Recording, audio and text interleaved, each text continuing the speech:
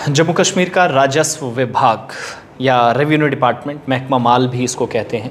उसने एक बड़ा फैसला लिया है और ये फैसला पटवारियों के लिए है, गिरदावरों के लिए है। उन तमाम लोगों के लिए जो अलग अलग किस्म के सर्वे करते हैं, ज़मीनों के रिकॉर्ड्स अपने पास रखते हैं, फ़ील्ड में काम करते हैं, लेकिन मुश्किल आती हैं। क्योंकि डिजिटलाइजेशन का प्रोसेस है तो सरकार चाहती है सारी चीज़ें अब ऑनलाइन हो जाएँ।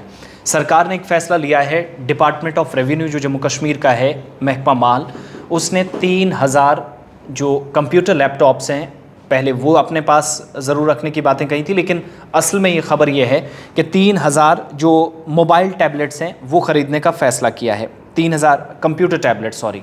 तो ये कंप्यूटर टैबलेट्स जो हैं वो पटवारियों को और निचली सतह पर काम करने वाले अफसरान को दी जाएँगी जो ज़मीनों में जाते हैं लैंड रिकॉर्ड्स रखते हैं। तो अब आ, कलम और कागज़ के ज़रिए कम मोबाइल लैपटॉप्स के ज़रिए या टेक्नोलॉजी के ज़रिए ज़्यादा काम होगा, इस बात पर फोकस है।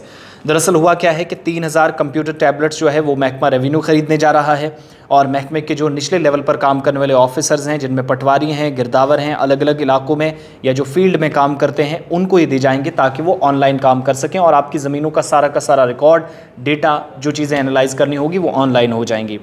यूनियन टेरेटरी में ज़मीन का जो रिकॉर्ड है, जम्मू कश्मीर के अंदर जो ज़मीनों का रिकॉर्ड है, वो इन पटवारियों के पास रहता है या इनके ज़रिए फ़ाइलों तक पहुँचता एक बड़ा रोल इनका होता है।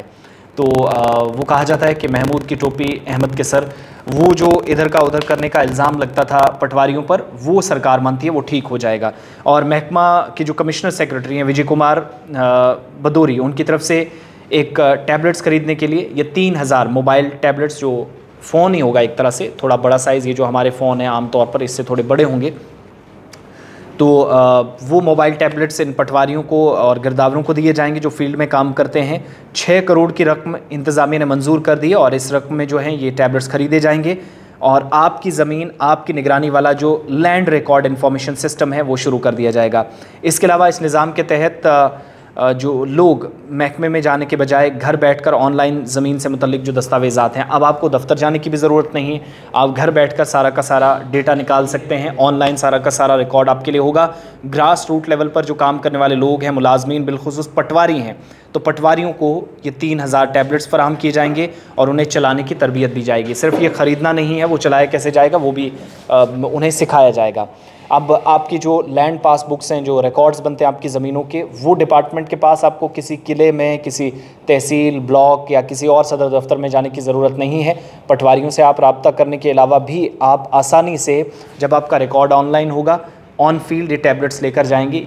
यानी सारा का सारा जो है ई गवर्नेंस के ज़रिए सरकार काम करना चाहती है। तो टेक्नोलॉजी का सहारा लेकर पटवारियों को और गिरदावरों को ये तीन हज़ार मोबाइल टैबलेट्स देने के लिए छः करोड़ रुपए सरकार ने मंजूर कर लिए हैं, ताकि सारा रिकॉर्ड ज़मीनों का ऑनलाइन कर दिया जाए और आसानी से अब आप घर बैठे अपनी ज़मीनों का रिकॉर्ड हासिल कर सकते हैं, उसे देख भी सकते हैं और इसके लिए पटवारियों को ट्रेनिंग भी दी जाएगी, तरबियत भी, उन्हें प्रशिक्षण भी दिया जाएगा।